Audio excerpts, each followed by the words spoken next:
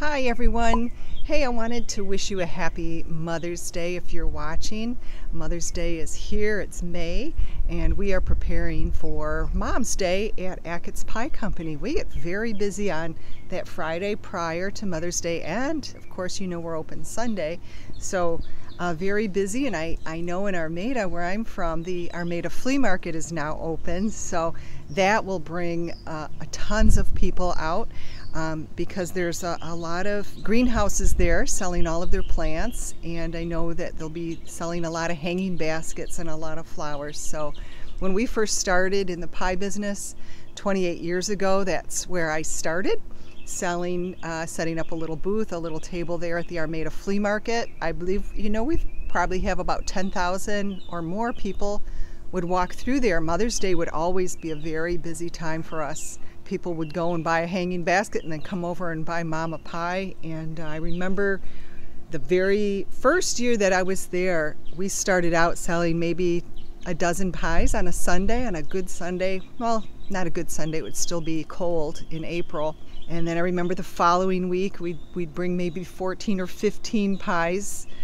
Uh, following week, we might up it to even get really brave and bring 20 pies. And the way I did it at at the Armada Flea Market was, you know, like I said, we started out small. I'd watch the Weather Channel, didn't have internet back then, so we'd watch the Weather Channel. What's the weather going to be like on, on Sunday? So we knew not to bake too many pies, right? If I did bring too many pies, um, it was always really great to barter with the other vendors that were there. And so it was a very rare thing that I ever brought pies back home. But I would trade and barter. You know, all of the vegetable dealers were there, the vegetable, you know, or plants, um, flowers.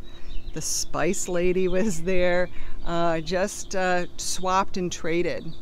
I think that's going to be uh, a really great thing uh, to get back to here in this country. I bet you have a house full or a garage full or a basement full of stuff that you need to sell. One man's junk is another man's treasure, right? So I've bought a lot of things myself on Facebook marketplace. But I would encourage people to really reconsider their jobs. Are you dreading getting back to work, whether you work at a, in a cubicle at a desk job or in a factory or in retail or uh, where do you work that you are just dreading to go back, let me hear in the comments below.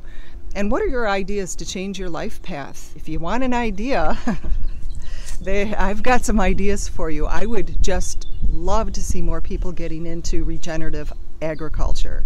If you've got a little plot of land, you should be able to turn that into a vegetable garden, an organic soil building regenerative agriculture garden. Even if you have a quarter acre, uh, you can make a lot of money. Uh, I have been watching the urban farmer, Curtis Stone. Check him out, guys. He's in BC and he has given us a great example of how you can support your family and have a really nice livelihood on converting people's front yards, backyards. Uh, you know, if you hate cutting grass like I did, um, I'm on 10 acres and probably seven acres were being cut. And I'm like, I, I can't see continuing to do this. This is not healthy for the planet to cut all this grass. This is a waste of time. This is a waste of fossil fuel. And uh, so I fenced it in and I got some sheep. So my sheep are grazing and, and cutting most of my lawn anymore these days, as you know if you've been watching this channel.